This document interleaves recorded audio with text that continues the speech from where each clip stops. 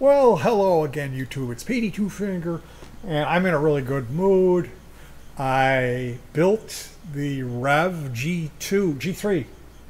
Uh, this is a distortion pedal, bass, mid-range, treble. It's got an aggression switch for three modes of aggression or gain, volume and gain. So it's volume, gain, bass, mid-range, treble, 9 volts, and it's got an amber LED. This is a pre-finished uh, powder coated chassis from a company called Tayda.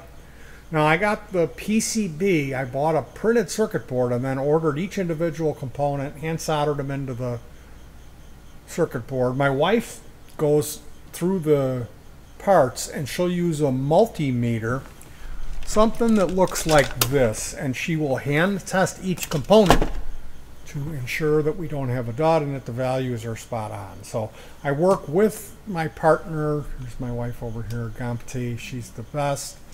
And this is the second one. The first one we built, I could not get it to work.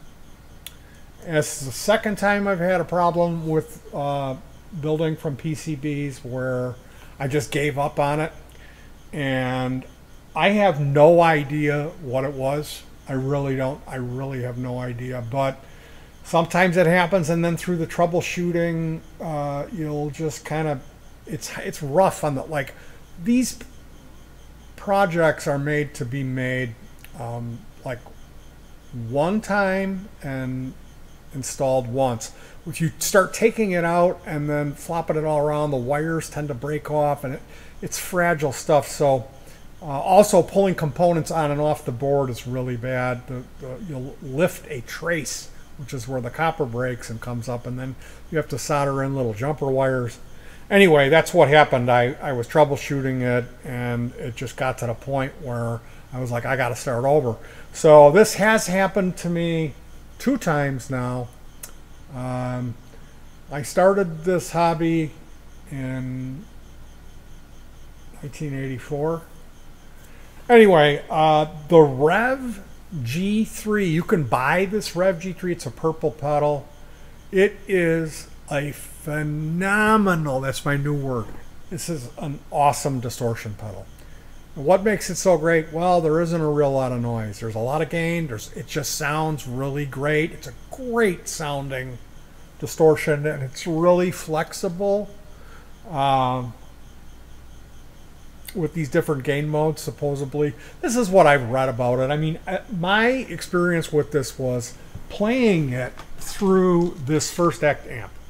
Okay, I finished it, it worked, and I thought, oh, I should do a video for my YouTube channel uh, because I had been talking about this pedal for a while. It's called it's called the Tyrian, T Y R I A N. The Tyrian is the name of the PCB. It's a clone of the Revv G3, which is this purple. It's a $300 distortion pedal. Forgive me if I'm wrong. I believe that that's the, the list retail price. I'm sure you could get it for 250 or two and a quarter or 200 used, but it's a $300 distortion box, I believe.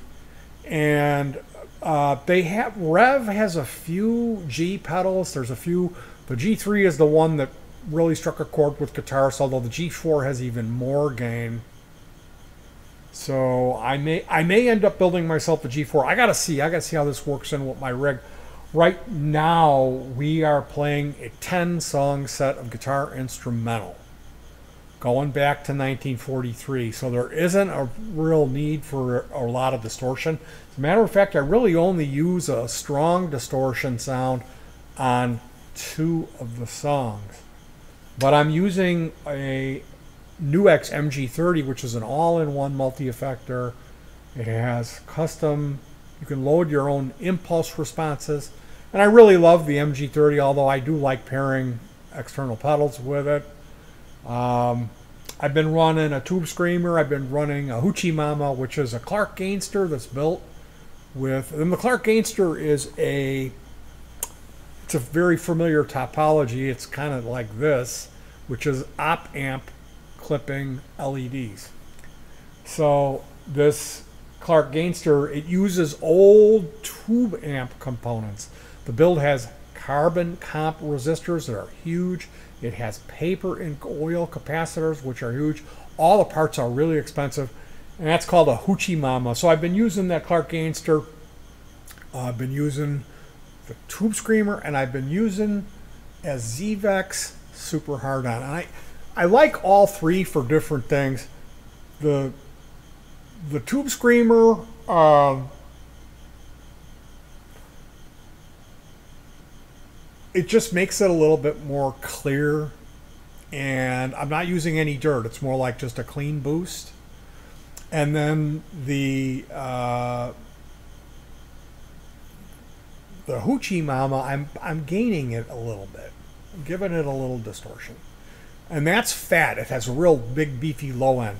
The Super Hard On is just a great equalizer pedal for switching between single coils and humbuckers. And I really like the single coil sound for some of these songs. But to keep the volumes matched and the gain levels matched, it's nice to have a boost pedal. So uh, that's what I'm using right now. This is like, I've got some overdrives.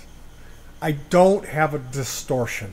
I really don't. I've got I've built a bunch of fuzzes and I built a bunch of distortion boxes. It just wasn't anything like maybe the closest thing to something like this that does a real high gain thing. I, I, I built, and I built a lot. I built some Friedman stuff that I didn't like. Um, the BEOD, the Dirty Shirley, the JHS Angry Charlie. I really didn't like that. Um, the Wampler Triple Wreck, I don't like very much. I really don't like that. But this thing, this distortion pedal is the Revv G3, and I got to tell you guys, if you're a little bit of a stickler, if you've been around and you don't have a distortion pedal that you've bonded with and you just feel like, man, I love that fucking pedal. This is the one. It's quiet, doesn't make any noise, it's got a ton of gain, it's got great character, three knob EQ. It's got voice or uh, the, the aggression switch on it. What more is it for you to love? So look forward to hearing the Revv G3 on this channel. We are going to be, I, I really want to play for people. This set is designed to play for live audience. So hopefully this year we'll get to play for some people. And if you're in the Chicago area, you want to come over and hear us play, get a hold of me. We can make it happen somehow. We'll come and play in your living room. We'll do a house concert for you and your friends. How does that sound? Anyway, you guys, thank you so much for joining me for this one on the Revv G3. I'm going to make another video after this one where I talk about a uh, special treat. It's a it's an ice cream brand that I've fallen in love with. I really like this ice cream. So you're not going to want to miss Petey talking about Hudsonville ice cream. This has been the Revv G3 build report, I guess I'd call it, although I really talked about my rig a lot. I got to tell you, I was thrilled that this thing worked first time when I uh, fired it up, and it just sounded phenomenal. A little bit of playing I did through it. So look forward to some more with the Revv G3. I I love you guys. I really do. Hug your pets. Try to keep cool. And peace.